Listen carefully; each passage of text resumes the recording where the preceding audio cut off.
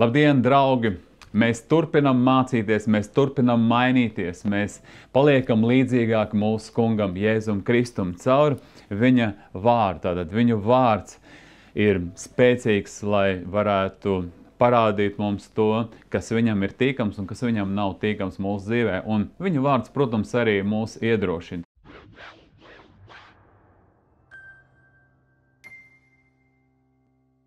Es šodien gribu dalīties no arī savas pieredzes, kā Dievs ir mācījis gūt uzvaru par visām tām satniskām balsīm, kuras um, uzbrūk, kuras sāk čukstēt, lai nesakot kungam Jēzum, lai neslavētu kungu Jēzu, jo zinu, ka Lucifers vēlējās, lai visa slava būtu viņam, lai nebūtu slava Dievam, lai varētu savu tronu celt pat augstāk par Dievu tronu, tātad viņam gribējās to varu. Tāpēc arī šodien Sātans visiem spēkiem cenšas, kā, lai apklusinātu to slavu, kas ir nesta Dievam. Tad viņam tas ir ļoti nepatīkami. Līdzīgi kā arī Jēzus, ieejot Jeruzalemē, atcerieties, kā izgāja cilvēku pūļi pretim Jēzum, jo Jēzus bija Lācaru augšām cēls no miroņiem. Bija ļoti liela slava par Jēzu, ka viņš tiešām ir tā kunga svētītais, svaidītais un visi kliedz uz Jāna, lai slavēts, kas nāk tā kunga vārdā un izgāja arī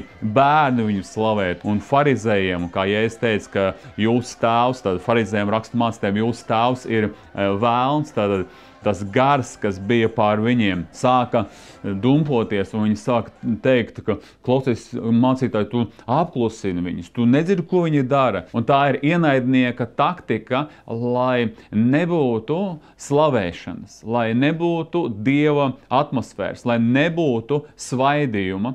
Jo tad, kad mēs sākam slavēt mūsu dievu, tad vairojas šis svaidījums. Tāpēc šeit ir rakstīts uh, Psalmu grāmatā 8. nodaļā, 3. pantā. No No bērnu un zīdaiņu mutes tu sev esi izveidojis pretspēku saviem pretiniekiem, lai liktu apklust saviem naidniekiem un atriebējiem. Redz, te ir teikt caur bērniem, caur zīdaiņiem. Tātad tāda vienkārša slava. Un iespējams šeit arī mēs varam pieminēt tos cilvēkus, kuri pavisam ir nesen sākuši ticēt kungam Jēzum.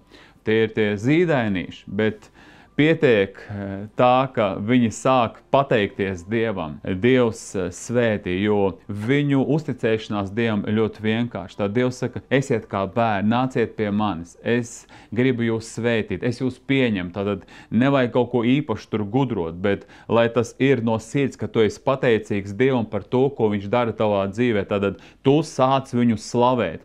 Caur to sāk augt ticība tavā dzīvē, jo tu redzi tās eh, neredzamās lietas, kas iespējams daudziem cilvēkiem e, ir neizprotams, vai varbūt viņi pieskaita to sev, bet tu saki, nē, Dievs man ir palīdzējis, Dievs man ir svētījis, Dievs ir ar mani. Tu lasi Bībeli, tu arī sāc redzēt, kā Dievs darbojas, sāk Dievs atbildēt uz teviem jautājumiem, sāk atsiet tos mazgus, kuri bija tavā dzīvē. Tāpēc Caur to arī apklus Sātans. Tad, kad tu sāc slavēt Dievu, Sātans neko nespēja.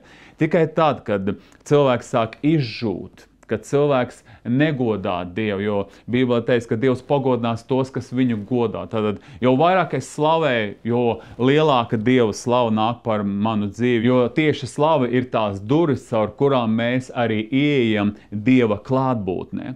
Tāpēc šis ir tas princips, kuru Dievs ir devis mums, lai mēs viņu izmantotu. Bet, ja tev ir ļoti grūti, ja tāds ir pretvējš, ja liekas čukst šī sātniskā balss, ka nav jēga tagad slavēt Dievu, tad Dievs saka, slavē. Slavē, un tu redzēsi, ka atnāks līdzīgi kā Jēzus ienāca Jeruzalemē. Pietosies Dieva slavu pār tavu dzīvi, viņu nāks pār tavu dzīvi, un tāpēc neapklusti, un caur to būs ienaidnieks sakauts. Es ļoti lūdzu, Dievs, palīdz mums. Tu esi devis mums šos garīgos principus. Tu teici, lai mēs vienmēr un par visu būtu pateicīgi Tev caur Jēzu Kristu mūsu kungu. Es pateicos, ka mēs esam nomazgāti Tavam svētajām asnīm. Paldies, ka Tu esi mūs atbrīvojis no sātana varas, ko mēs šodien piederam Tev. Paldies Tev, mans Dievs, ka mums visas lietas nāk par labu, tāpēc, ka mēs esam pēc Tava mūžīgā nodoma aicināti. Slāva Tev, mans Dievs! Pateicos Tev par visu Jēzus Kristus vārdā. Āmen! Lai Dievs svētī katru no jums, un es gribu pateikties katram par to, ka jūs esat kopā, ka jūs atbalstat, ka jūs svētiet eh, studiju, lai mēs varētu tālāk darboties. Tāpēc paldies par finansēm, paldies par aizlūgšanām. Uz redzēšanos!